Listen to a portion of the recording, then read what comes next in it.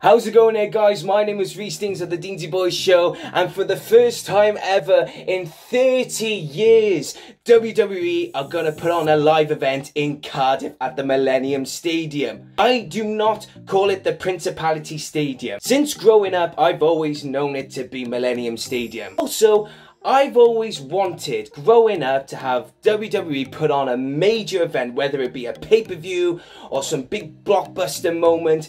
I cannot wait for it to happen. So, for the first time since 1992, when SummerSlam was held at the Wembley Stadium, we have been waiting in the UK, not just in Cardiff, but in London, Glasgow, so the entire UK, we've been waiting for another major WWE event to come to Cardiff or to come to the UK and put on a big show. I am so glad they've picked Wales. I just hope to God that any American wrestling fan would actually know where Wales is. It's not in England, it's not in Scotland, it's definitely not in Ireland. Seems to me that every time that WWE have gone on and put on a UK tour, nine times out of ten, I know they've had NXT UK Cardiff here, and I was there, I was with my friend Gareth, and we really enjoyed it. They rocked the house down, they blew it away. They always seem to leave out Cardiff, or any city in Wales.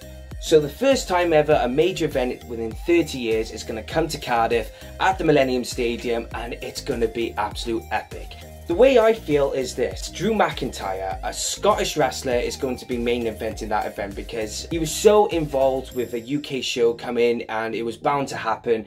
And I got a funny feeling that Drew McIntyre is going to headline that event. A part of me feels like three Welsh wrestlers need to highlight that moment, and I'm talking about Eddie Dennis, Mark Andrews, and Flash Morgan Webster. I've seen these guys in the walkabout in Cardiff in front of just under 100 people you know, I've seen them in community centres, bingo halls, and they've always rocked the house down. And at the moment, they're in WWE, NXT UK, and they're just brilliant wrestlers. And a part of me feels that uh, the WWE UK title should be main evented and it should be down to those three. I mean, I, I, will be honest with you. I haven't really been following NXT UK for a very long time and I really need to catch up on that on that part of the show.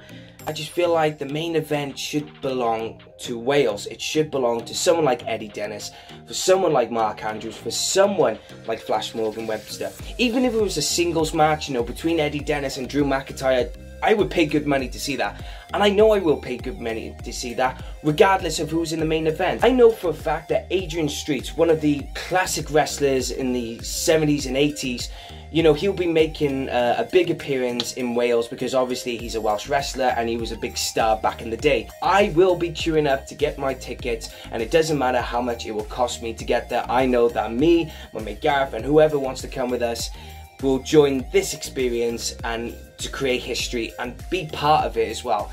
I really cannot wait. So how do you feel about this guys? Please leave a comment in the section below. Make sure you like, share and subscribe to the channel and make sure you notify yourself by ringing that bell. And if you want any more content like this or any other content, just make sure you follow me and give me some ideas guys because I want everyone to be involved with my journey to getting from maybe up to 300 to 400 to 500 subscribers. Click that subscription link below guys. But without further ado, my name is Rhys Deans of the Deansy Boys Show and I'll see you all very soon. Take care.